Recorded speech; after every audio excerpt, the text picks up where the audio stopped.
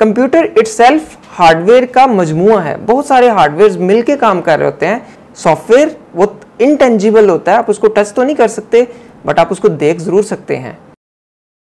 आज हम देखेंगे कि कंप्यूटर क्या चीज़ है और इसका इंट्रोडक्शन हम देखेंगे। कंप्यूटर बेसिकली एक इलेक्ट्रॉनिक डिवाइस है।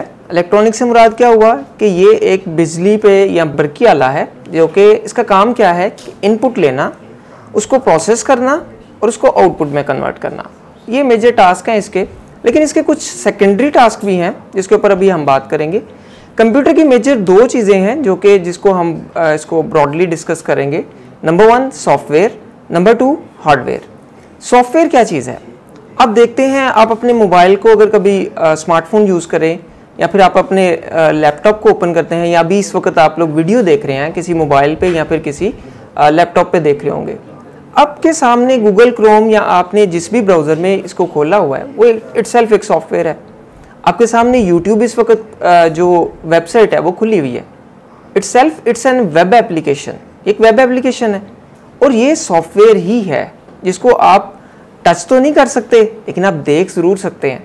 अगर आप हार्डवेयर की बात करें तो वो तमाम चीज़ें जो आप कंप्यूटर की, जिनको आप टच कर सकते हैं लाइक आपका मोबाइल है आप मोबाइल का बटन प्रेस करते हैं उसको ऑन करने के लिए दैट्स एन हार्डवेयर आप कीबोर्ड के बटन्स प्रेस कर रहे हैं दैट्स एन हार्डवेयर आप माउस को मूव कर रहे हैं, आप कैमरा को टच कर सकते हैं स्क्रीन को टच कर कर सकते हैं that's hardware so I think आपको ये डिफरेंस समझ आ गई होगी कि सॉफ्टवेयर और हार्डवेयर में डिफरेंस क्या है.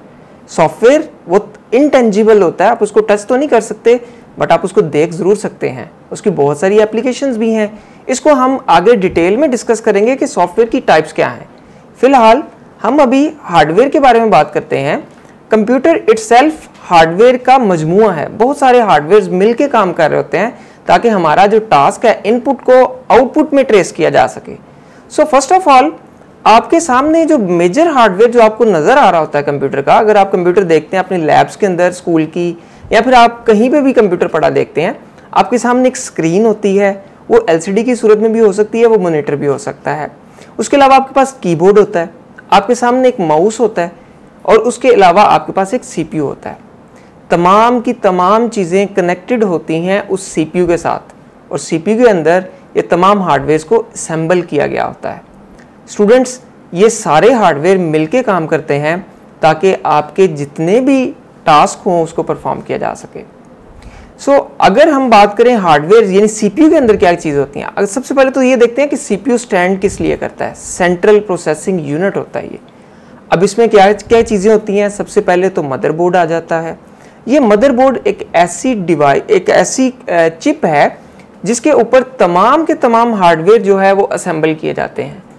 मिसाल के तौर पे रैम हार्ड डिस्क तमाम की तमाम पोर्ट्स वहाँ पे अवेलेबल होती हैं।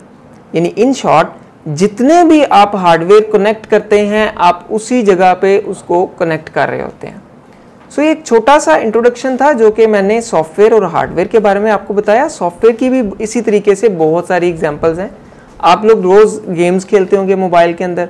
आपने यूट्यूब खोला आपने कोई गूगल क्रोम खोला आप अपने मैसेजेस के लिए व्हाट्सएप यूज़ कर सक करते हैं। ये तमाम के तमाम एप्लीकेशन हैं सॉफ्टवेयर इसको सॉफ्टवेयर ही हम लोग कह रहे होते हैं।